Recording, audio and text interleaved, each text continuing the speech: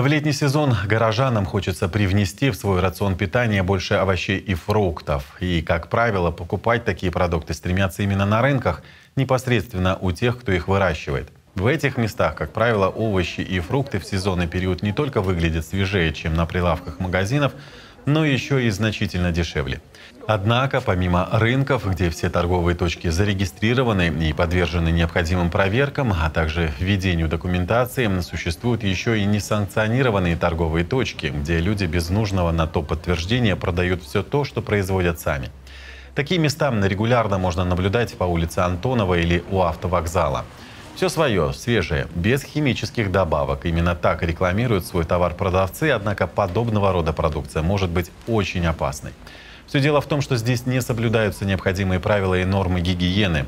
В такую жаркую погоду особенно остро становится вопрос о реализации готовых молочных продуктов, мясных изделий, пищевой рыбной продукции, яиц, а также консервированных продуктов домашнего приготовления, дикорастущих ягод и грибов.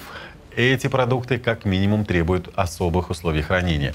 На такие резюме продукты питания, как правило, отсутствуют документы, подтверждающие их качество и безопасность, отсутствует необходимая информация о товаре, поэтому существует риск приобретения продуктов питания с истекшим сроком годности и сомнительного качества. В таких случаях предъявить претензии к кому-то не представляется возможным, так как найти того, кто продал такой товар, э, невозможно практически.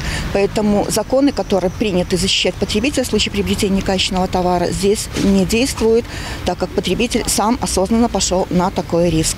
Осторожными также нужно быть и при приобретении на рыночных торговых точках косметики и парфюмерии, говорят специалисты. Духи или туалетная вода, например, без потери качества товара могут храниться в температурных условиях от 0 до 25 градусов.